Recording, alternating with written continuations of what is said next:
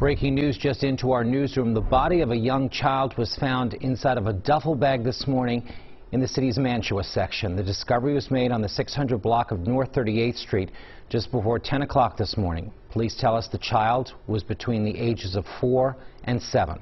They cannot tell if there are any signs of trauma due to the state of decomp decomposition of the body. We have a crew speaking with investigators and residents. We'll have much more on this breaking story throughout the day online and starting at 4 o'clock.